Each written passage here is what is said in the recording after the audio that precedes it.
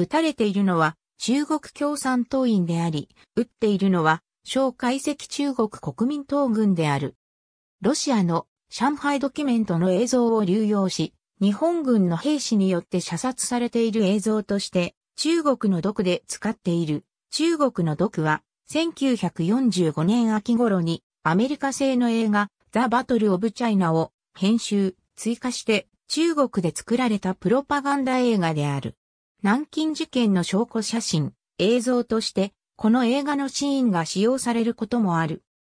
長崎原爆資料館では、長崎の中国総領事館が南京大虐殺の写真を展示することを要求したことで、資料館は圧力に屈して、この宣伝映画の1コマをプリントして、泣き叫ぶ夫人の連行写真として展示していたことがあったが、結果的に信憑性に乏しいと判断され撤去するに至っている。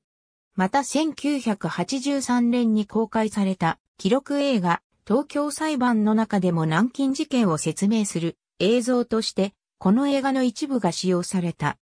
それについて渡辺昭一からやらせを指摘され小林監督は確かにあれは中国国民政府が南京事件を告発するために作った映画のフィルムであり、いわゆるやらせがかなり多いことも最初から分かっていましたと述べる一件も起こっている。